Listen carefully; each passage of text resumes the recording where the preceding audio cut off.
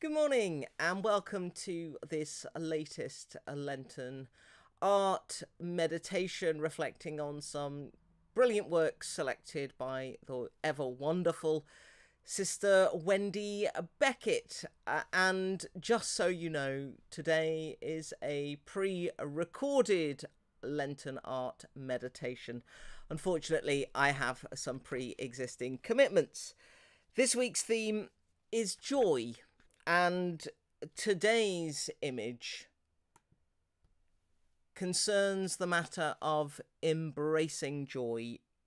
This is a new image for me, created by the artist Margaret Neve in 1994, and it's called By Moonlight. And though this isn't the, the, the best rendering of uh, this work of art, I still think it's possible for us to appreciate there's quite a lot going on. This is a woman on the seashore. The moon looms large. All sorts of meanings might be attached to this. She seems to be wearing a night dress. Is she in a trance?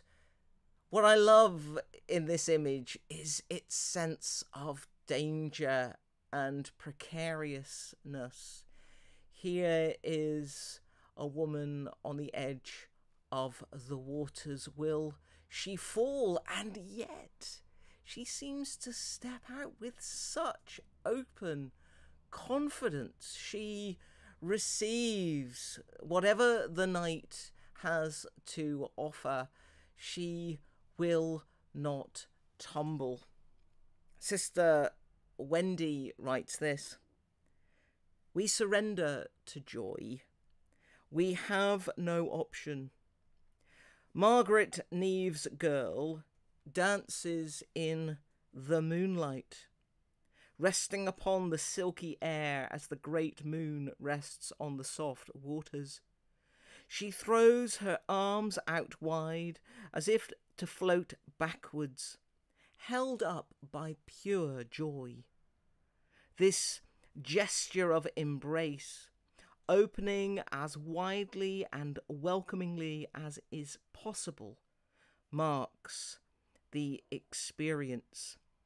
Joy is felt as profoundly right as what ought to be. I suspect there are few of us even in these times of trial, who do not instinctively know that fact about joy, that it is experienced as profoundly right. And I want to go further and say it is something which we know in and through our bodies. We do not need to be a dancer to know joy in the body. The Christian tradition has so often treated bodies with suspicion. But this work of art, insofar as it captures joy, reminds us to dare, to dare to embrace joy, to receive its ministrations through the line of the body.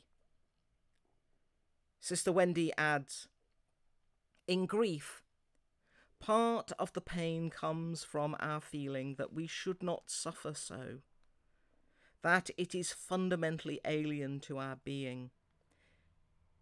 This, even though we all suffer, and frequently.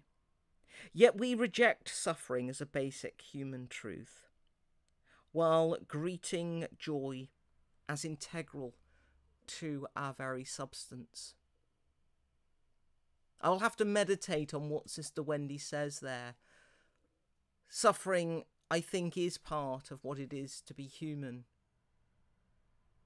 But in the world in which we live, we mustn't lose sight of the way in which we are called by the living God to joy.